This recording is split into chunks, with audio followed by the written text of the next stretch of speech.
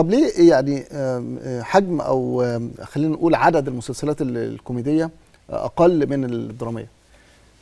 يمكن دي في إجابات كتير. يعني يمكن أنا جايب بتكلم عن رمضان. آه طبعا. يمكن في إجابة بقى الصورة اللي بعد دي هتلاقي إنه في طول الوقت ان ان إن الفنان أحمد بدير هنا بيقول التلفزيون غاوي مسلسلات نكد. يمكن أنا كنت عايز أرد بالعنوان. ولا يعترف بوجود نجوم الكوميديا. ده كان في التسعينات. اللي اتغير في الكام سنة اللي فاتوا مع بعض المسلسلات الكوميدية اللي بقت موجودة بشكل أو بآخر. لكن ده كان يعني التلفزيون بيحب النكد هتلاقي الصورة اللي بعدها يمكن هتلاقي برضو في تعليق ده في نهاية التسعينات وغابت شمس الكوميديا عن مسلسلات رمضان. سيبك بقى خالص من من الموضوع كله. اقرأ التعليق اللي تحت الصورة. الكآبة كما ظهرت في مسلسل زيزينيا. فتخيل إنه كان طبعا مسلسل زيزينيا مسلسل عظيم في تاريخ مصر. طبعا آه. ومسلسل في منتهى الجمال لكن كان شوف النقد.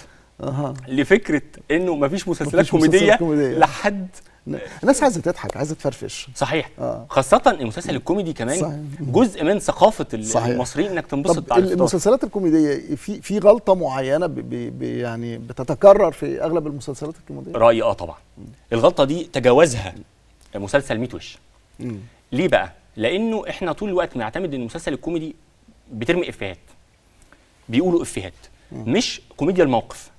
أغلب المسلسلات بتعتمد على إنه النجم سواء قدراته زي ما كنا بنتكلم على سامر غانم هو أسطوري في الضحك من غير حاجة فأنت لو اعتمدت على ده بس مفيش نص جيد مفيش مخرج مسيطر على العمل زي كامل أبو ذكري في وش هتلاقي إنه في مشكلة وبالتالي فأنت عدد المسلسلات الك- الكوميدية اللي متسيطر عليها اللي مكتوبة كويس هتلاقي في الفترة الأخيرة في الوصية هنلاقي في نيلي وشريان هنلاقي في لهفة هنلاقي في مجموعة أعمال. صحيح. جيدة بس الأعمال عدد كبير منها برضو بيروح لفكرة الإفيه اللي هو السنة اللي بعدها ما بتفهمش أصلا هو بيقول إيه. نعم.